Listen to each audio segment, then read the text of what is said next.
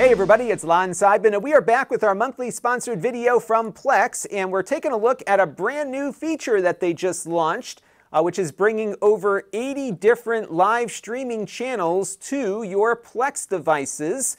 These are free, they don't require a Plex Pass, and this is going to work differently than the live TV you'll bring over through an antenna that we covered a few months ago. So we're going to be digging into this new feature and seeing what's available on it and how you can customize it here in just a second. But I do want to let you know in the interest of full disclosure that this is a paid sponsorship from Plex. However, they are not reviewing or approving what you're about to see before it was uploaded, and all the opinions you're about to hear are my own. So let's get into it now and see what this new feature is all about. Now, before we go too much further into this, it's important to differentiate what the new live TV feature is versus the one we've talked about here in the past called Live TV and DVR. Uh, the older feature here uh, involves using a tuner that's plugged into your local Plex server. Uh, this feature has largely been available to Plex Pass users, and it allows you to bring in your local TV content over the air or through cable with an HDHomeRun Prime box and get that content into your Plex server for recording, for watching locally, and for streaming back out to yourself. The new feature with the same name is coming in from the Plex streaming servers for free, and this doesn't require a Plex Pass, and it's also not going to give you networks that you've necessarily heard about before. A lot of these are the kinds of networks that we see streaming to some of those other services that are out there. But there's some good stuff here. You get the Law and Crime Network for trial coverage of different court cases happening throughout the country. You've got Reuters News, you have Yahoo Finance, some good stuff that you can just kind of leave on and let stream throughout the day, but it's different content than what you would get over the air. So these two features will coexist. One is not replacing the other. And again, this one is completely free. So as long as you've got Plex on your device, you can watch it irrespective of whether or not you have a PlexPass account. And they recently uh, removed the requirement to have an account at all. So if you just download Plex or go to the website, you can start watching without an account at all.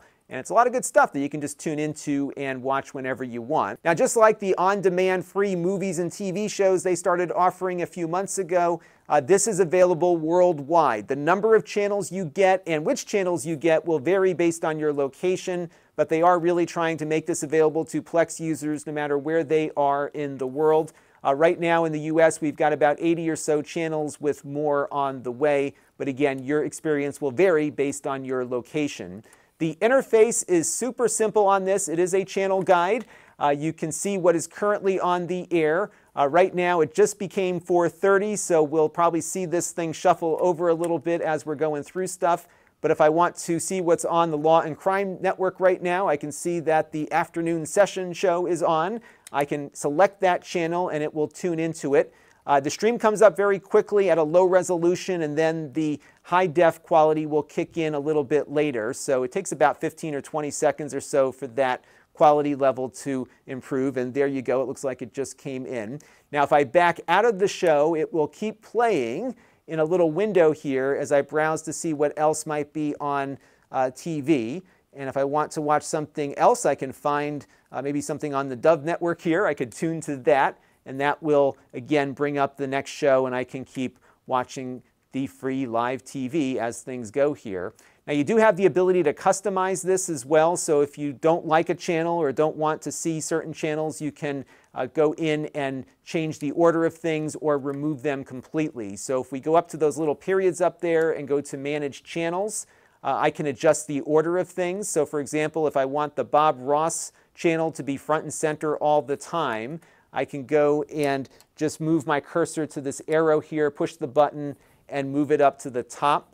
Uh, this will follow your Plex account, so if you log in on a different device, this order will be there for the other device as well. I can move Yahoo Finance up there so I can get all my favorite channels up top. And then if there's something I don't want to see, maybe um, America's Funniest Videos in Spanish is not something that I'll watch frequently, I can just go here and disable that and it will no longer show up on my channel guide. I can always bring it back by jumping back into this menu if I want, but it's a good way to kind of get everything customized to your particular preferences. Now you also have the option, which is on by default, to show the most recent channels in the guide at the top. Um, so what that will do if I back out here uh, is it will always have the last three channels tuned right up top. I could disable that feature if I want, but this might be something to leave in place, especially if you're always going to the Law and Crime Network every time you boot up your device here. And you can also see now that the Bob Ross Show and uh, Yahoo Finance now are at the top of my channel list. And again, I could spend some more time whittling this down to exactly what I want. And this feature should be available across all of the devices that Plex supports. So I've got my iPhone here. Uh, if we jump over to my screen, you can see that the Bob Ross channel and the Yahoo Finance channel are at the top based on how we set things up earlier. I could go into the configuration here on the phone and change that for my account. So I can go to Manage Channels, and then I could move perhaps the Bob Ross channel here below the Yahoo Finance channel, and I could turn off uh, tune goggles and uh, just again make some adjustments. And it might be easier to make these adjustments on mobile versus your TV device. And whatever you do on the phone will follow you back to your television device there. Now, all of this content is live. Um, so you don't have any DVR functionality. Uh, there's no way to pause live TV while it's on. Uh, so whatever is live is live, and after it is not live, it's no longer viewable. So just bear that in mind. Uh, you can, though, browse ahead so you can see what's coming up. You got full descriptions as to what is coming up on that channel. And if the text is running beyond what this window has for room, you can select the show and dive in and read more and get the full description. So it works a lot like other Plex content. The interface, of course, is very familiar because it's running within Plex.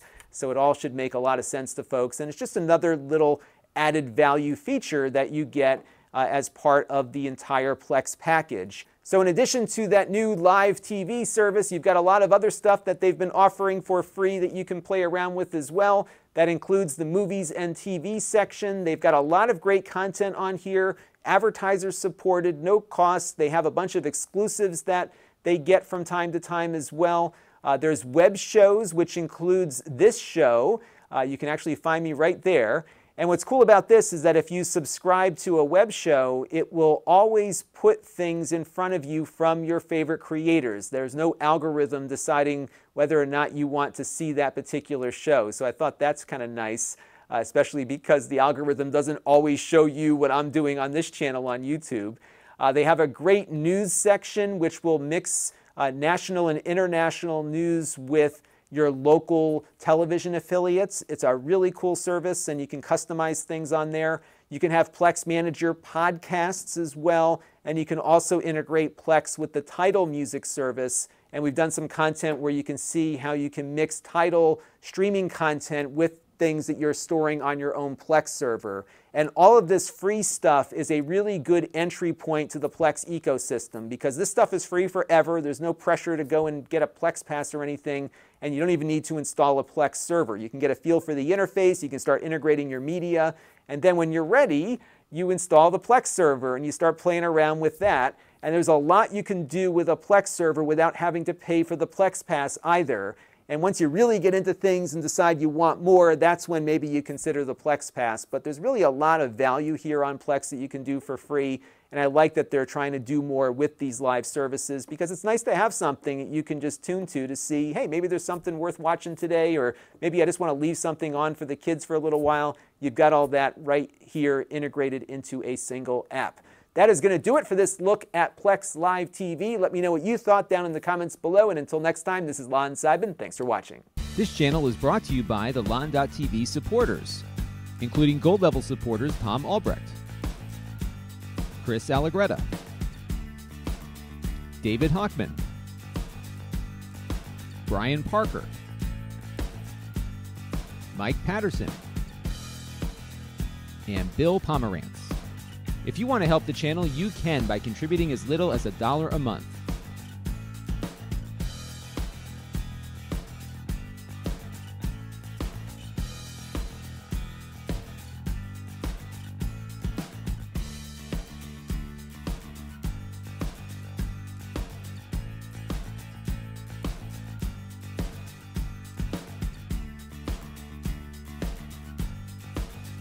Head over to lon.tv slash support to learn more.